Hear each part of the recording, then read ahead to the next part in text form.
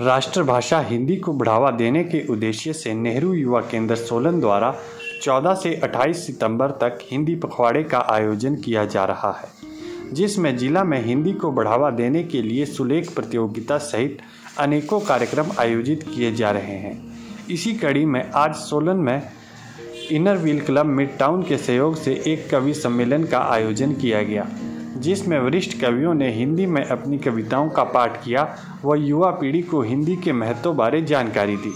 नेहरू युवा केंद्र की समन्वयक ईरा प्रभात एवं inner wheel club mid town की प्रधान मोनिका बंसल ने बताया कि राष्ट्रभाषा हिंदी का युवाओं में चलन बढ़े, इसके लिए हिंदी पखवाड़े का आयोजन किया जा रहा है। कवि सम्मेलन में सोलन के वरिष्ठ कवियों ने भाग लेकर हिंदी के महत्व बारे बताया।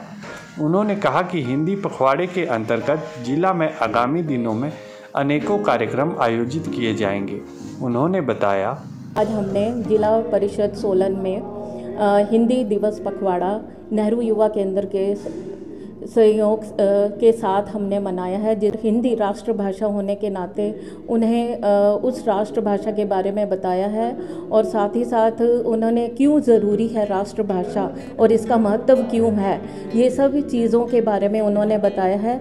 और उन्होंने इस बात पर भी ध्यान दिया कि स्कूलों में जो कि आजकल बच्चे अंग्रेज़ी की भाषा पर ज़्यादा अपना समय व्यतीत करते हैं। हिंदी राष्ट्रभाषा होने के नाते ये बहुत ज़रूरी है। उसको भी इस इस चीज़ के ऊपर बहुत ज़्यादा कार्यक्रम किए जाएँ। आज सोलन में हमने कवि गोष्ठी का आयोजन किया गया है। जिसमें सोलन के वरिष्ठ कवियों ने पार्टिसिपेट कर रहे हैं। कार्यक्रम का उद्देश्य है कि जो हमारी हिंदी राष्ट्रभाषा है, उसको कैसे हम सरलता से आम जन की भाषा बनाएँ और लोगों में इसके प्रति रुझान पैदा करें। आजकल की युवा पीढ़ी हिंदी बोलने में गर्व महसूस करे और हम हिंदी कार्यक्रमों के ज़रिए उसमें जागरूकता और रुचि का, रुचि उनमें पैदा हो, इस तरह के कार्यक्रमों का आयोजन नेहरू युवा केंद्र इनरवीर के साथ मिलकर के आज आयोजित कर रहा है।